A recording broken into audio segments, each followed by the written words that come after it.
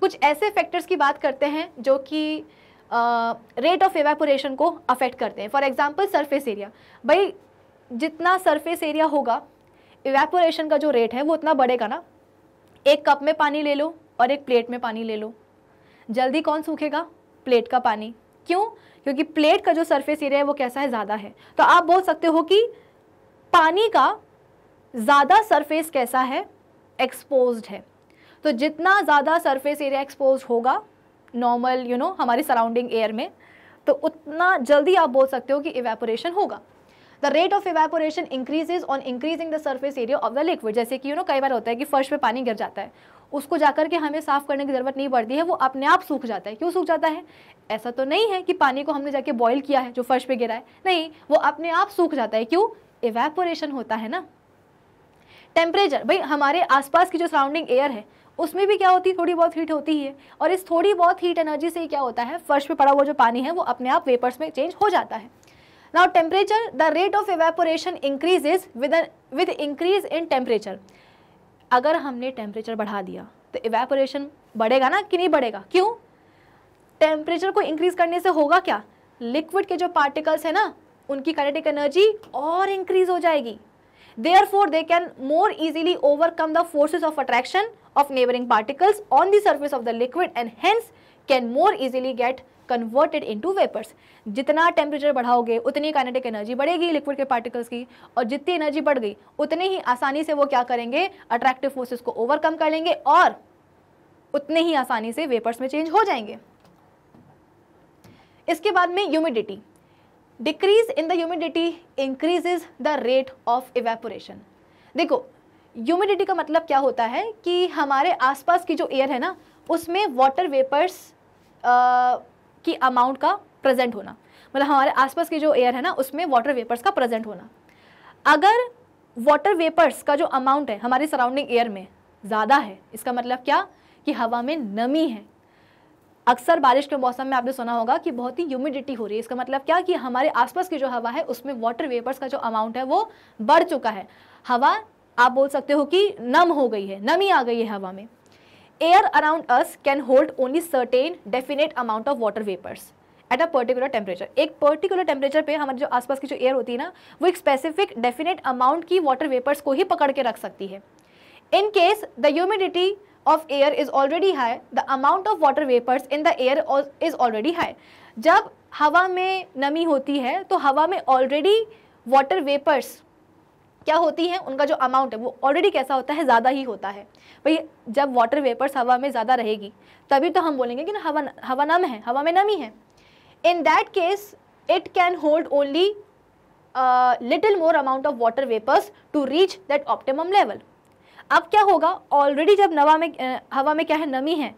तो अब जो लिक्विड होगा ना आपके पास, उस लिक्विड की केवल कुछ ही वेपर्स को सराउंडिंग एयर क्या कर पाएगी? एकोमोडेट कर पाएगी। क्यों? क्योंकि सराउंडिंग एयर में ऑलरेडी वाटर वेपर्स हैं। अब जो आपके पास लिक्विड है, जिसको कि आप इवेपोरेट करवाना चाहते हो तो उस लिक्विड की केवल कुछ ही वेपर्स को सराउंडिंग एयर क्या कर पाएगी? एकोमोडेट कर पाएगी।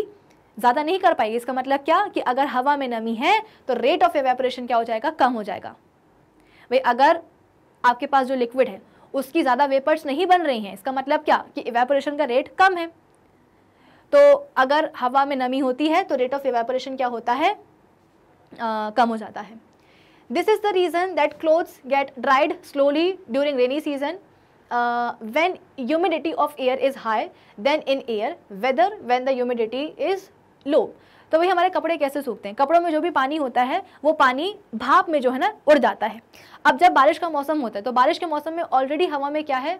नमी है वाटर वेपर्स हैं। तो हमारे कपड़ों में जो पानी होगा ना, उसकी जो वाटर वेपर्स बनेगी तो उन वाटर वेपर्स को, ज़्यादा वाटर वेपर्स को सराउंडिंग की एयर एकोमोडेट नहीं कर पाएगी। इसीलिए रेट ऑफ़ एवापोरेशन कम हो जाएगा। यानी कि जो कपड़े होंगे ना आपके उनका जो पानी है वो जल्दी नहीं सूखेगा। रेट कम हो जाएगा ना एवापोरेशन का। तो पानी जो है, कपड़ों का वो जल्दी नहीं सूखेगा। इसका मतलब क्या? कि कपड़े भी जल्दी नहीं सूखेंगे। लेकिन अगर हम बात करते हैं किसकी ड्राई और हॉट किसी वेदर की, जहाँ पे हम बोल रहे हैं कि आसपास की जो एयर है, उसमें वाटर वेपर्स का जो अमाउंट है, वो कैसा है? कम है। तो कपड़ों में जो भी पानी होगा वो पानी भाप बन के उड़ेगा वेपर्स बन के उड़ेगा और सभी के सभी वेपर्स को जो एयर है वो अपने अंदर ले लेगी। तो रेट ऑफ़ इवेपोरेशन क्या हो जाएगा? यहाँ पे ज़्यादा हो जाएगा। इसका मतलब जो कपड़े हैं वो ज़्यादा जल्दी सूख जाएँगे। इसके अलावा विंडी डे में आप बोल सकते हो कि आ, कपड़े जो है ज़्यादा जल्दी सूखते हैं। क्यों? विंड स्पीड का क्या रिलेशन होता है? क्या इफ़ेक्ट पड़ता है? An increase in the wind speed increases the rate of evaporation हवा की अगर गति ज़्यादा है तो रेट ऑफ़ इवेपोरेशन भी क्या होगा? बढ़ेगा। क्यों? The reason being that with increase in wind speed, the particles of water move away with the wind, thereby decreasing the water vapors in the surrounding. हुआ क्या? कि जैसे कि यहाँ पे आपके पास क्या है? आपका लिक्विड है। उसकी क्या है? वेपर्स है। अब ये वेपर्स कहाँ हैं? ये वेपर्स हम बोल रहे हैं कि इस हवा में है। अब हुआ क्या? इस लिक्विड से वेपर्स बनी, ये वेपर्स कहाँ गई? हवा में गई। हवा चल रही थी। तो ये वाली जो हवा है, जिसमें कि ये वाले यू नो वेपर्स हैं आपके लिक्विड के, ये हवा अब कहाँ चुकी है? यहाँ चुकी है। और इसकी जगह पे, इसकी जगह पे हम बोल रहे हैं कि एक दूसरी लेयर आ गई है हवा की। इस हवा में हम बोल रहे हैं कि वेपर्स बहुत कम है। तो होगा क्या? आपके पास जो लिक्विड है उसकी आपके पास जो लिक्विड है उसकी और हम बोलते हैं कि वेपर्स बनेंगी और ये जो वेपर्स हैं ये फिर हम बोलते हैं कि इस वाली हवा में जाकर के मिक्स हो जाएगी। तो हवा हम बोलते हैं कि आगे बढ़ती जाएगी और अपने साथ आपके लिक्विड के जो वेपर्स हैं उसको लेती हुई जाएगी। तो रेट ऑफ़ एवेपोरेशन क्या हो जाएगा? बढ़ जाएगा। तो जब हम बोलते हैं कि आ, हवा चलती है तो कपड़ों को सुखाना काफ़ी आसान होता है। इसके अलावा हम बोलते हैं कि हमारा जो इवेपोरेशन है ना उसका क्या होता है? एक कूलिंग इफ़ेक्ट होता है। ठीक है ना? क्यों?